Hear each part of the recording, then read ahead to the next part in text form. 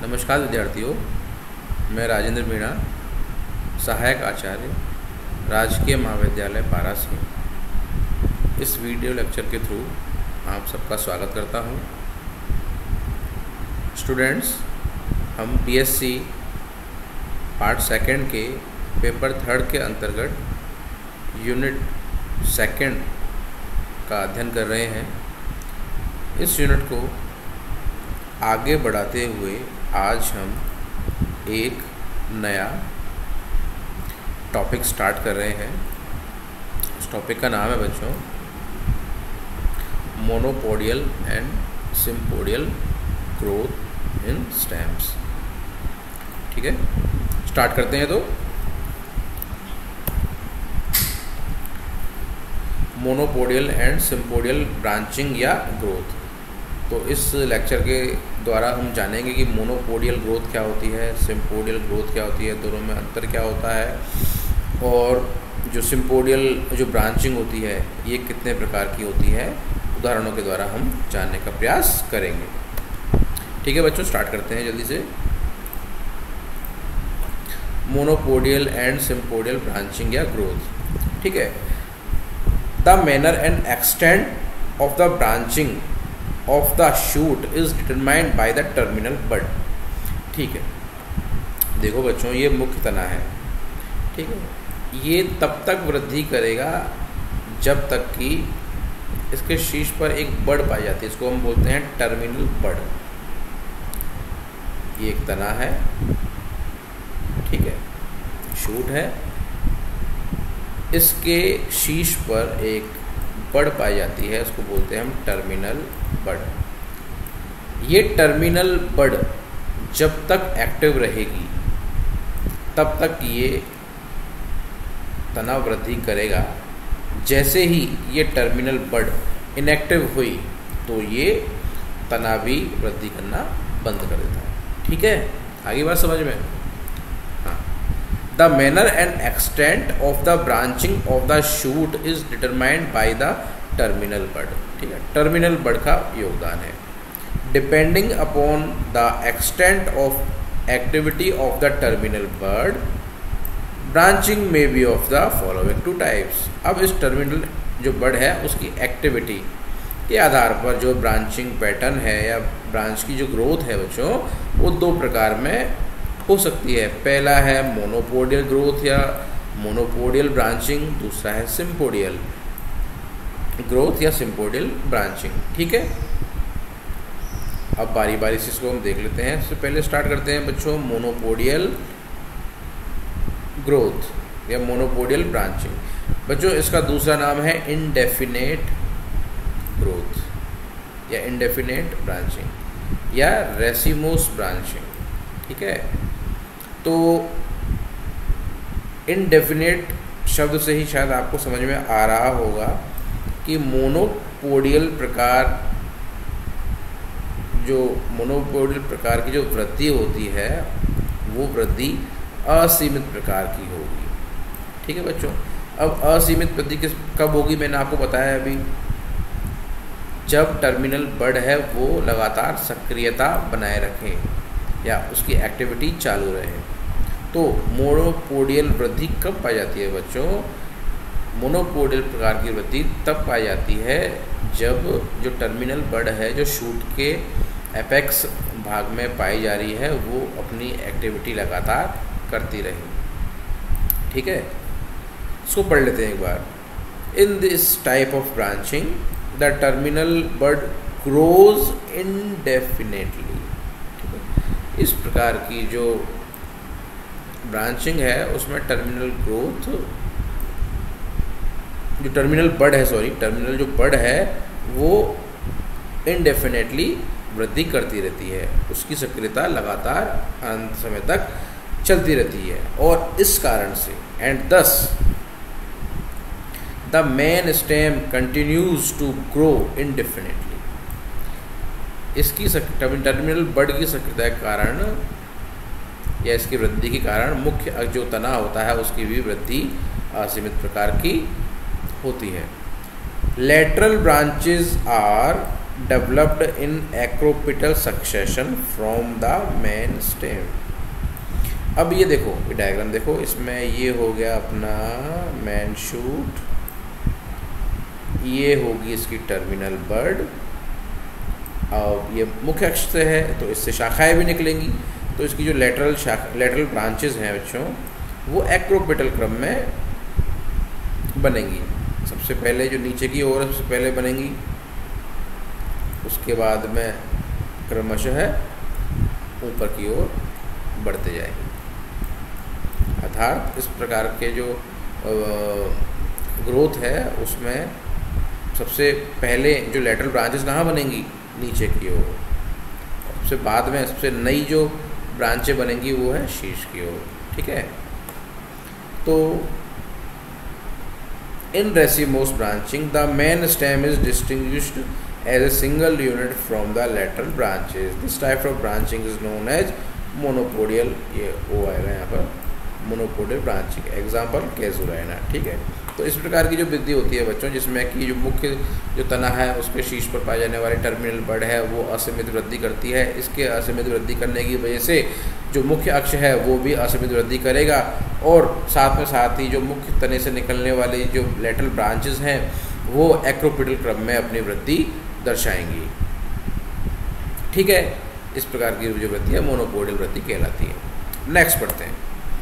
पहला पढ़ लिया हमने मोनोपोडियल प्रकार की वृद्धि या ब्रांचिंग अब हम पढ़ेंगे सिम्पोडियल या फिर डेफिनेट या फिर साइमोस प्रकार की ब्रांचिंग बच्चों, ये अपोजिट है अपना सिम्पोडियल प्रकार की वृद्धि से। ठीक है in this type of branching the lateral bud does not grow indefinitely ठीक है टर्मिनल जो बर्ड है, उसकी एक्टिविटी इंडेफिनेट नहीं होती है। कुछ समय के बाद में अपनी एक्टिविटी को समाप्त कर लेती है। After certain period it ceases to grow so that the growth of the main stem is definite. ठीक है? जैसे ही इसने अपनी वृद्धि, अपनी एक्टिविटी को बंद कर लिया तो ये मुख्य अक्षय है, इसकी वृद्धि बंद हो जाएगी। As the terminal bud becomes inactive क्योंकि टर्मिनल बर्ड इनएक्टिव हो जाती है then then lateral bud grows just below it and becomes more active अब देखो टर्मिनल बर्ड तो हो गई इनएक्टिव लेकिन पादप को वृद्धि तो कर नहीं है। तो क्या होता है, इसमें जो लेटरल बर्ड्स होती हैं, वो अपनी एक्टिविटी को बढ़ा देती हैं। After certain period the growth of these branches cease and again lateral branches are produce from them ठीक है, मान लीजिए टर्मिनल बर्ड की वजह से इसकी वृद्धि हो गई, हासित हासित मतलब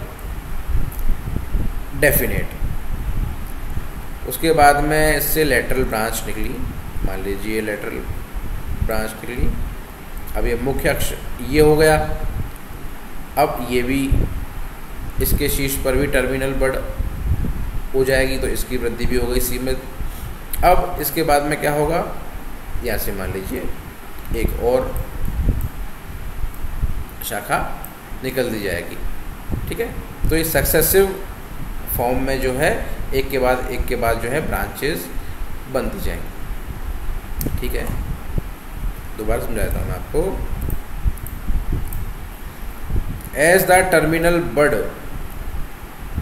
becomes inactive the lateral bud grows just below it and becomes more active ठीक है? After certain period the growth growth of these branches seeds and again lateral branches are produced from them. The process is repeated and the type of branching is called cymose branching. यह process चलती रहती है इसकी वृद्धि सीमित हो गई, ये बना, इसकी वृद्धि भी सीमित हो गई तो ये बना मान लीजिए, इसकी वृद्धि भी सीमित हो गई, उसके बाद में इससे ये बनेगा, इसकी वृद्धि सीमित हो गई तो लेटरल बर्ड दोबारा से आ जाएगी ये बन गया। तो इस तरह से प्रोसेस चलती रहती है। तो इसको क्या बोलते हैं? Cymose branching it may be of the following types ये जो सिंपोडल प्रकार की जो वृद्धि होती है बच्चों, ये तीन प्रकार की हो सकती है। यूनिपोरस बाईपोरस और मल्टीपोरस ठीक है, ये इंपॉर्टेंट है। ये एग्ज़ाम में आता है। इसको वहाँ भी याद रख लीजिएगा। मोनोपोडल और सिंपोडल ग्रोथ का जो क्वेश्चन है, पक्का एग्ज़ाम में आता है। ध्यान रखिएगा। जो सिम्पोडल जो ब्रांचिंग होती है, वो तीन प्रकार की होती है यूनिपेरस बाईपेरस या मल्टीपेरस इसके अलग नाम हो रहे हैं। यूनिपेरस को बोलते हैं मोनोकेसियल साइम बहुत इंपॉर्टेंट है ये बच्चों एग्ज़ाम में पूछते हैं, बताइए मोनोकेसियल साइम क्या है? डाइकेसियल साइम और पॉलीकेसियल साइम ठीक है? समझ में आ रहा है ना? ओके तो हम पढ़ते हैं पहले सिम्पोडियल ग्रोथ में पहला है यूनिपेरस, या मोनोकेसियल साइम दूसरा है बाई बाईपेरस, और तीसरा है मल्टी, या पॉलीकेसियल साइम तो यूनिपेरस में पढ़ते हैं when only one lateral branch develop in cymose branching it is known as uniparous cymose branching ठीक है, पहले मोटा मोटा आइडिया ले लेते हैं बच्चों। जब मुख्य अक्ष से या मुख्य तने से केवल एक लेटरल ब्रांच उत्पन्न होगी तो इसे हम क्या बोलते हैं? यूनिपेरस कंडीशन ठीक है? अगर जो मुख्य अक्ष है, उससे दो लेटरल ब्रांचें डेवलप होंगी तो उसे हम बोलेंगे बाईपेरस अगर मुख्य अक्ष या तना है उससे दो से अधिक लेटरल ब्रांचेस डेवलप होंगी। तो उसे हम बोलेंगे मल्टीपेरस या पॉलीकेसियल साइम इसमें ध्यान रखने वाली बात क्या है बच्चों? मुख्य अक्ष की वृद्धि है, वो सीमित हो जाती है। बताइए आप सब में। टर्मिनल बर्ड इनएक्टिव होने के कारण। ठीक है? ये समझ में आ गया। अब देखिए, इसका डिटेल बाद में पढ़ेंगे। तो बाईपोरस बाईपेरस समझ में आ गया आपको। When two lateral buds branches develop below the apical bud it is known as biparous और ट्रू साइन एग्ज़ाम्पल है इसका, मिराबिस चिलापा। देखिए इसका डायग्राम ये है। ये एक मुख्य अक्ष है। इसकी टर्मिनल बर्ड हो गई। इनएक्टिव इसकी वजह से इसकी ग्रोथ हो गई। डेफिनेट और इससे दो लेटरल ब्रांचेस निकल रही है। दो यानी बाई बाई पेरस ठीक है? Multiparous when more than two lateral branches are developed below the apical bud it is known as multiparous sign. Example है इसका नीरियम ठीक है? अब ये यूनिपेरस महत्वपूर्ण है क्योंकि इसके भी दो प्रकार होते हैं। पहले तो समझ में आ गया आपको कि मुख्य ब्रांच से, मुख्य शाखा से केवल एक ही लेटरल ब्रांच निकलेगी तो इसलिए इसको बोल दिया यूनी या मोनोफेसियल अब ठीक है, अब आगे देखते हैं। द सक्सेसिव लेटरल ब्रांचेज में develop on the same side so that the branching appears like a helix and this type of one sided branching is known as helicoid cyme देखो बच्चों, ये दो ये यूनिपेरस जो साइम है, दो प्रकार का होता है। एक तो होता है हेलिकॉइड और एक होता है स्कॉर्पियोइड ठीक है? हेलिकॉइड और दूसरा है स्कॉर्पियोइड या ठीक है तो अब ये हेलिकॉइड बता रहा है तो हेलिकॉइड प्रकार का, किस प्रकार का होता है समझाता हूँ मैं आपको। मान लीजिए ये है मुख्य शाखा, इसकी वृद्धि होगी सीमित, उसके बाद में यहाँ से निकली इसकी एक लेटरल ब्रांच ये भी इसकी वृद्धि सीमित हो गई। तो जो हेलिकोइड प्रकार होता है, उसमें बच्चों केवल एक ही दिशा में या एक ही साइड से जो है, नई जो लेटरल ब्रांचेस है डेवलप हो गया। मान लीजिए ये है तो यहाँ से मान लीजिए एक ये ब्रांच निकली। अब इसी डायरेक्शन में एक और, उसके बाद में एक और और एक और, ठीक है? ये देखिए, इस डायरेक्शन में।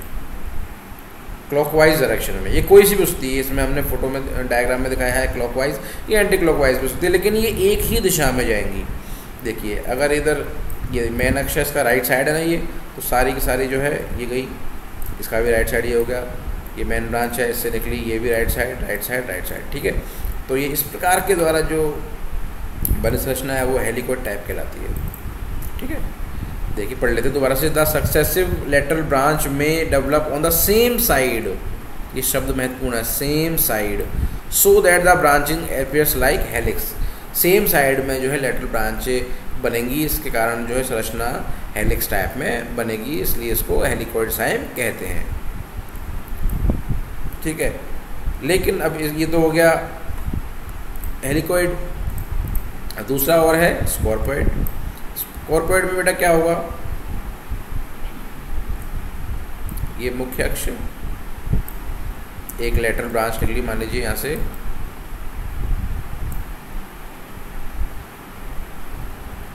है ना?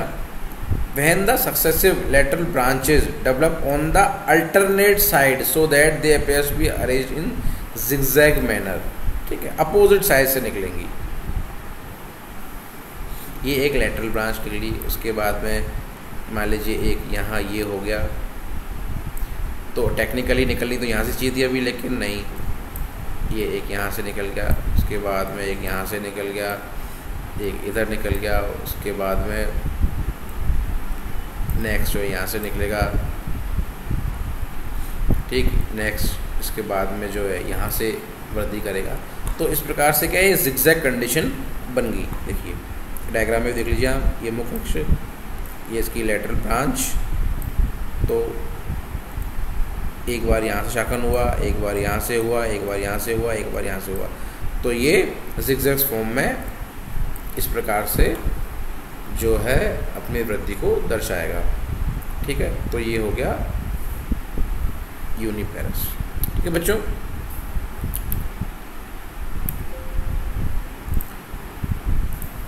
तो इस टॉपिक के माध्यम से हमने